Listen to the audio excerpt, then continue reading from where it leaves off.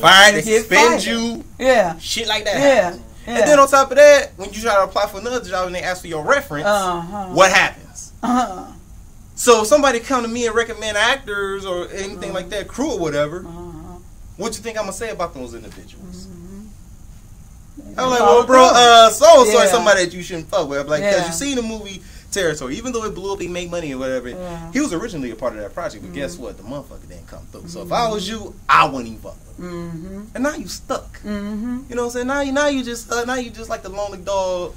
You know what I'm saying? Trying to get a bone, or whatever. You know, Uh-huh. now, now you just trying to find something, but you got a bad reputation. Mhm. And it was your, you shot yourself in the foot. But it, uh, it goes back to what I was telling y'all earlier about a lot of people losing their faith. Like me, I, I made the I made the ultimate sacrifice so everybody else that I was working with wouldn't have to. Mhm. I gave up my nine to five. Succeed or die.